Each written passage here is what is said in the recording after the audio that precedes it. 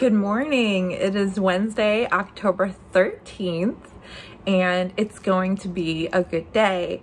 I am excited today because after work, I am getting my hair done. So this rusted out color that's here, we're gonna refresh it. We're gonna put more red in it. It's gonna be so much fun for me because I'm excited to get my hair done. So Please excuse me if I get lipstick on my teeth. I'm wearing this orange gloss and it just gets everywhere.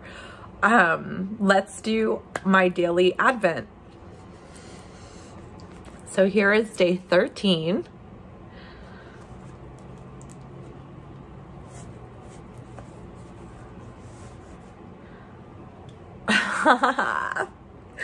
Army of the Dead. So Army of the Dead is a movie, I think it's on Netflix and I haven't seen it, but my friend Justine tells me that it's really good. I the only reason that I haven't been watching movies is because I have been watching podcasts. We have watched, over the last couple days, I have watched Critters, the 1980s version of The Blob, and Final Destination. Still a good movie. This is fun. This is a movie that I need to see. And if you guys have seen it, please someone comment and tell me like what you thought of it because I'm really excited. I'm a huge zombie fan and I always have been since I was a kid. So I've always been twisted um, ever since I was about six years old, as early as I can remember. My grandmother would let me watch scary movies. My mother didn't, but I would go to my grandma's house every weekend and we would watch the scaries. So I've been watching and she didn't censor them either. Like since six years old, I've been watching Dawn of the Dead uncensored and The Exorcist and you name it, I have seen it as a child. I don't know what that says about my family, but it's shaped who I am and you know, I think horror movies are great. I think being scared is hilarious. Like when I get scared in a movie, I crack up. I think it is the funniest thing ever. So yeah, let me know what you thought if you've seen Army of the Dead. All right, so let's do my daily tarot card pull. So today's tarot card pull is coming to you from a deck that is dear to me because it is the Vanessa Tarot. Who made this?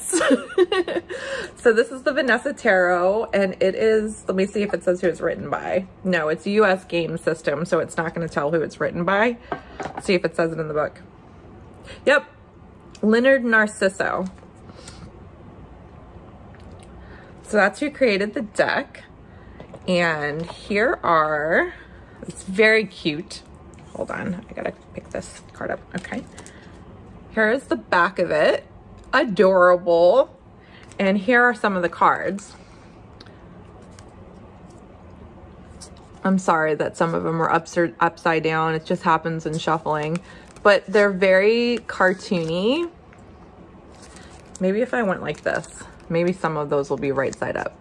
There we go. It's very cartoony, very modern, and feminine. So let's see what the cards have to say today. And if I draw the Fool again, I don't even know. so let's see. What do I need to learn for today?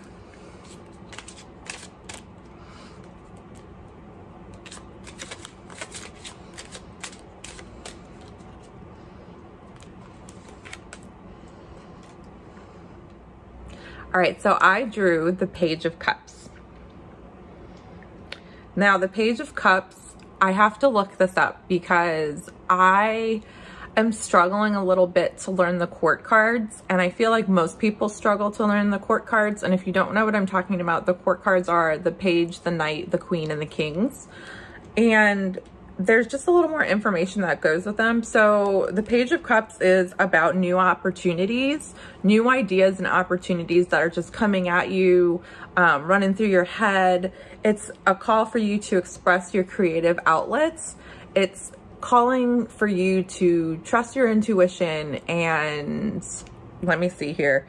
Uh, trust your intuition and be open to the intuitive messages coming your way and it also can indicate that you'll receive an unexpected and pleasant surprise. So with the Fool and the Page of Cups, I feel like something in my life is about to change. And I'm not sure what that is yet. But I keep getting hints that something new is on the horizon. I keep getting this new energy, fresh energy, new start, new opportunities, new ideas. Something is going to happen. And that remains to be seen what it will be. So that was Vanessa Tarot, Page of Cups. Awesome. So I have been working on my shawlography. There's nothing more to see since last night because I have hardly made any progress. I ended up working on my spooky socks during the knit night that I had with 11 Stitches membership because like I said, I messed it up. So I was working on my spooky socks. I'll show you how far I got with those though. So here's how far I've gotten on my spooky socks. So I am past where I marked for the heel. Also, look at how cute the stitch marker is from Clay Cannon. It's a little pumpkin scarecrow and he is so cute. Sorry, sorry. but yeah, so I've marked for the heel and now I am on the leg. And these are toe up. So every 20 rounds here. I learned this from Natalie of Nitty Natty. Um, I have never marked 20 rows like this before with the light bulb stitch markers. Um, it is really helpful. I used to just go back and count and just go back to the beginning and just count all the rows. And I don't know why I was doing that. That is so stupid. So since she showed that she did that, I was like, oh my God, that's brilliant. Um, I will share something funny with you. So you see these light bulb stitch markers? Well, you guys call them light bulb stitch markers because you're looking at them this way. I was in a yarn store in Florida, which is like retirement county, Florida, Naples. And this elderly lady comes to me and hands me these stitch markers and says, these are the penis markers. You need these. And I was like, excuse me, come again? and she said, and she goes, yes, they're penis markers. So you could call them light bulb stitch markers, but in my brain, this lady telling me that they're penis markers is like the funniest thing that I have ever heard. I'm sorry if that offends anyone. I don't mean to be offensive. It's just some story that I, this happened to me in my life. so there's my spooky socks and they're living in my Joji bag that I bought to take to Rhinebeck. I was going to show these off on the podcast, but I'm not quite sure like what I'm going to be doing with this podcast because of Rhinebeck. So here is my Joji bag. This is her little box bag and I love it. It has a good amount of room. Like, look at plenty of room.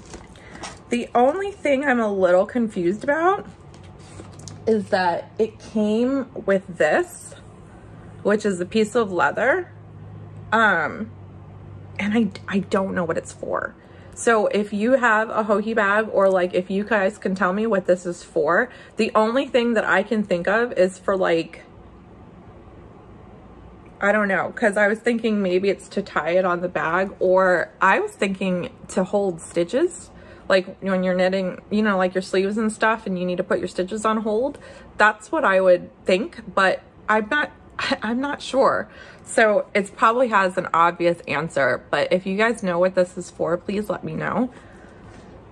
So those are my spooky socks. So, like I said, I have to work today, so I am going to work on my shawlography for just a little bit longer and then I'll be going to work and I will see you in a little bit. So I felt a little inspired to share something with you today because I know on this channel I talk a lot about positivity. Positivity is a great thing and it's an easy thing when everything in your life is going the way it should. And it's easy to be happy and it's easy to be positive when you're happy. But what happens when things aren't going so well? and it's difficult to be positive and everything in your life is going to hell in a handbasket and you feel like you don't even know how you're going to wake up to see the next day. When you close your eyes and you don't want them to open, those are the hardest days and we all have them sometimes and for some people it's harder than others. So i want to share a quote for you with you from maya angelou. Having courage does not mean that we are unafraid. Having courage and showing courage means we face our fears. We are able to say i have fallen but i will get up if all you managed to do today was wake up you are brave if all you managed to do today was drink a glass of water and lay down on the couch, you are brave. Please don't ever think that you are not enough and that you can't make it because you can, you are strong. You reach out. There are people that love you even when you feel that there is no one. Reach out because someone will listen. I will listen. I will be your friend. If you have no one else, reach out to me. I want everyone to have an amazing day. Be courageous, be brave, and I love you. Have a good day. So change of plans. I did not get my hair done as expected. We had a busy day at the salon and then something came up and we had to go. So I will be going to get my hair done in the morning. So nothing changed here, not yet. Um, I did go to knit night. Tonight was my knit night at my local yarn shop. There is a bunch of people there. I didn't want to put anyone on camera, so without permission, so I just didn't record there. I got some work done on my shawlography, excuse me, which I will show you in a minute. But I wanted to thank everyone who suggested the ChiaoGoo shorty set to me. Yes, that's what it is. The ChiaoGoo Shorty set to me because I was able to pick it up. And this is the Twist Shorties, two inch and three inches, the small.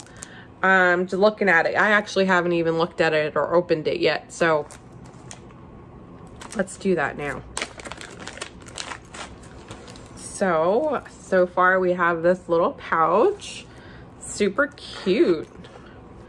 It's got a little pocket. this is like Christmas. Okay. Okay, what is this?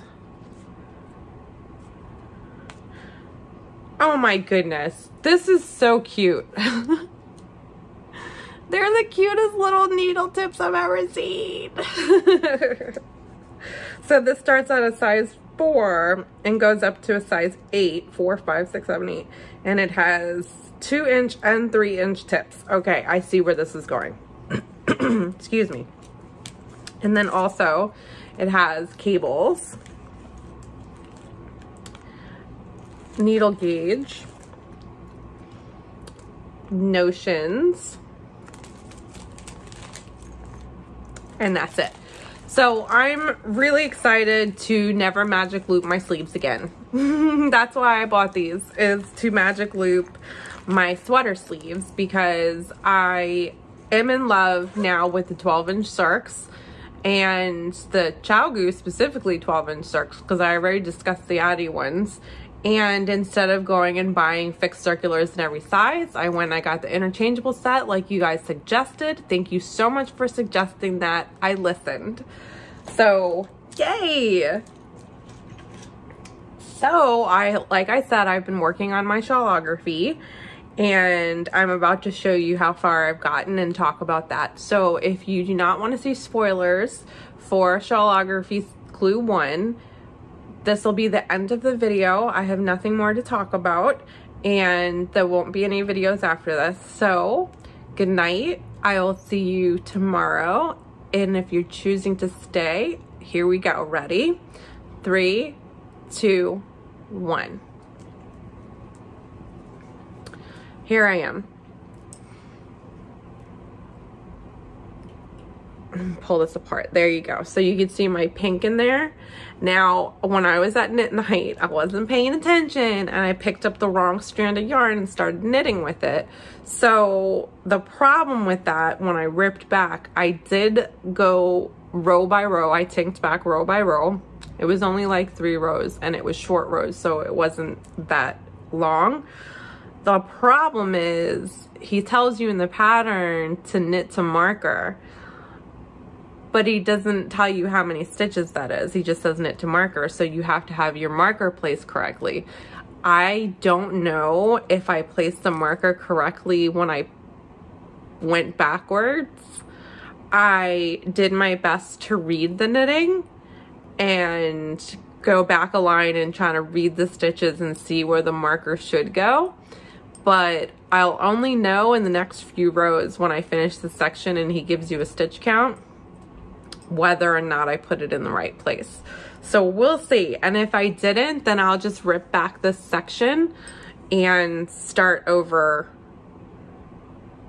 Well, I guess I would have to tink back the section. I don't think I'll be ripping it back. I don't want to lose stitches. But yeah, so I don't know how this is supposed to go. Like, I'm not sure if it goes this way or if it's to go this way. I have not looked. I have not seen any spoilers. So I have no idea what I'm knitting and I love it. It's so much fun.